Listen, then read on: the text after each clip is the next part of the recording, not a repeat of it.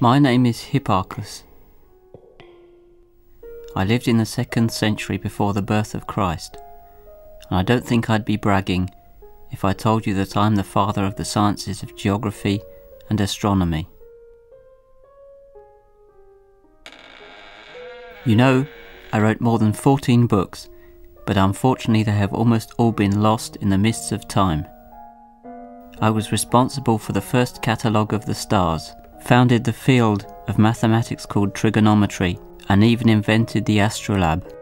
Fortunately, my brilliant successor Ptolemy, three centuries after my time, inspired by my work, took up where I left off. And nowadays, historians sometimes can't determine what was my contribution and what was his. Ptolemy's manuscript, the Almagest, was the first scientific treatise on astronomy, and his book Geography contains the first map of the known world.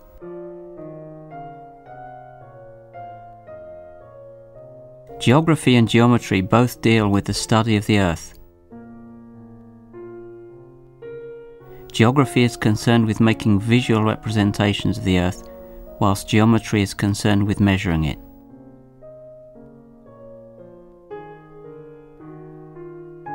The shape of the Earth is roughly spherical. Let's forget for the moment that it's slightly flattened at the poles and pretend that it really is a perfect sphere.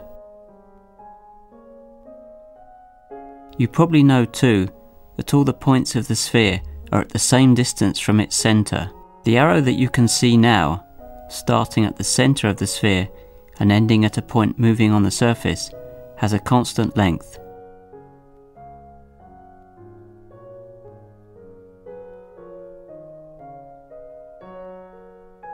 Let's choose an axis for our sphere. A line through the centre. When we cut the sphere along a plane that contains this axis, we carve out a great circle, which divides the sphere into two hemispheres.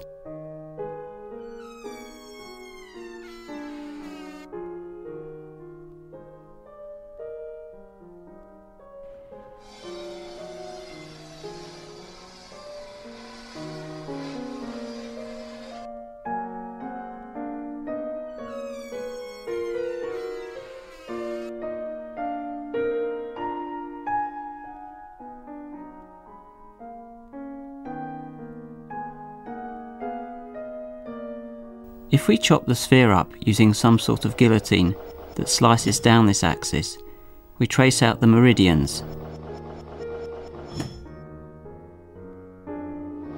These are half circles going from the North Pole to the South Pole of the Earth.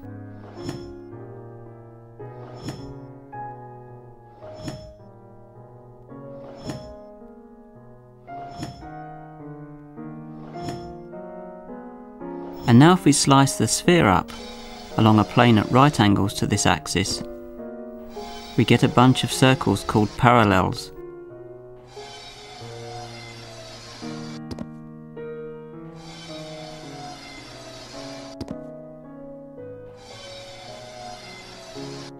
So now our sphere is covered by two networks of curves. The meridians and the parallels. One of these parallels should be very familiar. It's the equator, halfway between the two poles. For historical reasons, one of these meridians was chosen to be the principal meridian. It is the one passing through the Greenwich Observatory in England. To specify the position of some point on the surface of the Earth, we can start at the point where the Greenwich meridian meets the equator and walk round the equator a distance, measured by an angle called the longitude, coloured red.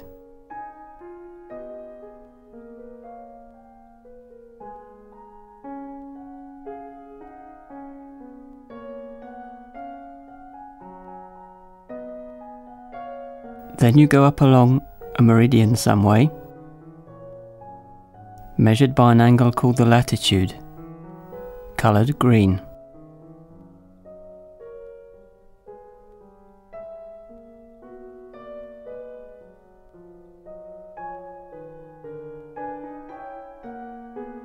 finally arriving at our desired destination. Any point on the Earth is precisely described by just these two numbers, its latitude and its longitude.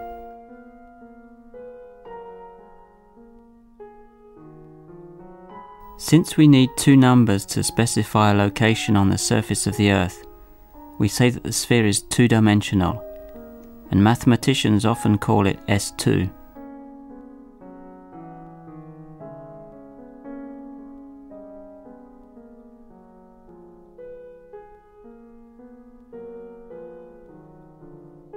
Finally, if we let our little plane leave the Earth and fly off into space, then to locate it we need to give three numbers latitude, longitude, and the altitude above the Earth.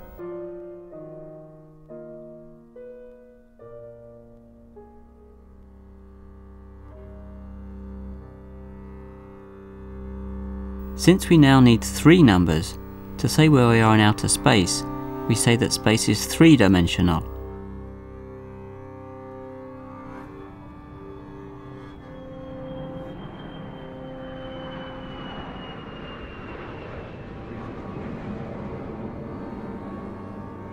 Look at the paintings on the wall. There's a portrait of Ptolemy, the father of map making.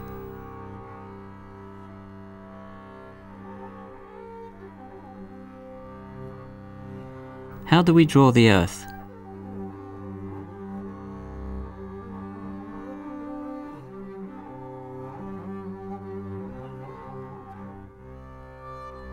One method is to project it on a plane.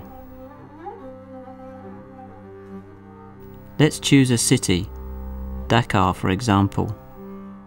We draw a straight line from the North Pole through Dakar. Our line hits the table at some point that we call its projection onto the table. Any point on the Earth's surface can be projected onto the table in this way. The nearer our town is to the North Pole, the further away its projection on the table is. In fact, it can even end up off the table. For this reason, we say that the North Pole doesn't have a projection. Or more correctly, that its projection is at infinity. The whole Earth, with the exception of the North Pole, can be represented on the plane of the table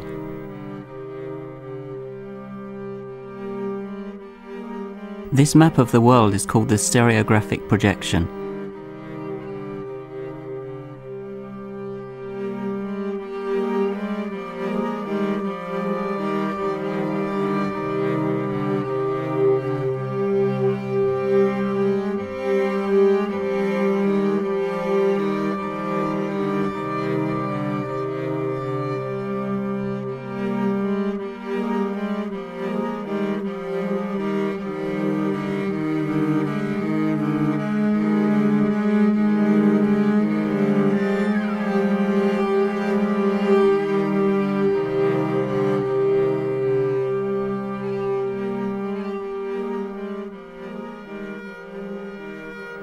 Of course, our stereographic projection doesn't preserve sizes. South America appears tiny compared to North America.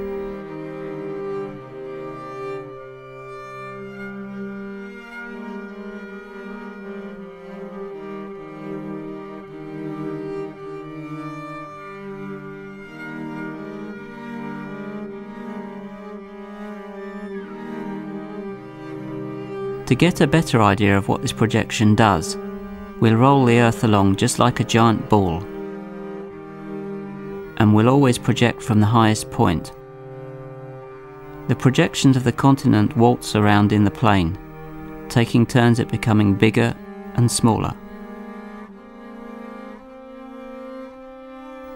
But if we take a closer look, we see that shapes don't change, even if lengths do.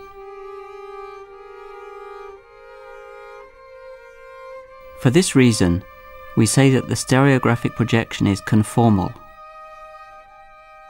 What happens to the meridians and the parallels under the projection? When we project from the North Pole, the meridians become radii emanating from the South Pole, and the parallels concentric circles.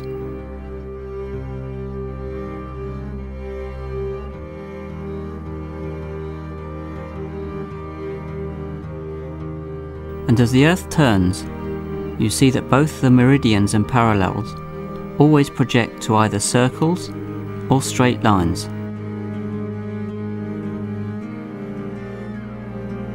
The stereographic projection transforms circles drawn on the sphere into circles drawn in the plane. Except for those circles passing through the pole from which we project, whose projections are in fact straight lines in the plane.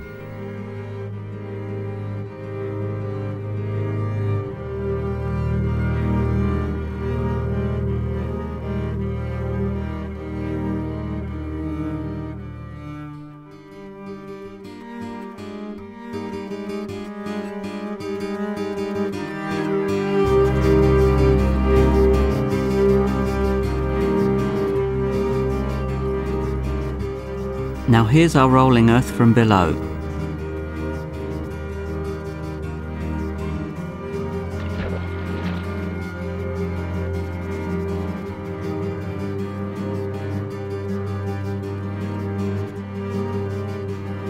From this point of view, we see the meridians and parallels form two bundles of circles.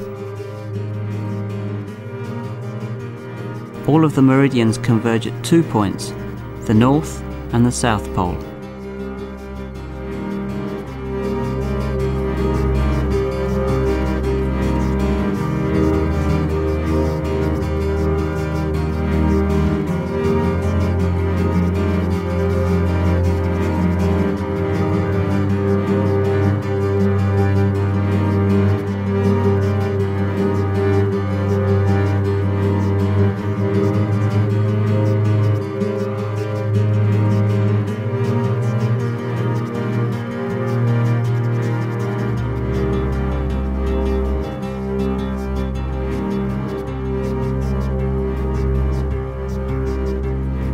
Do you recognise this one here?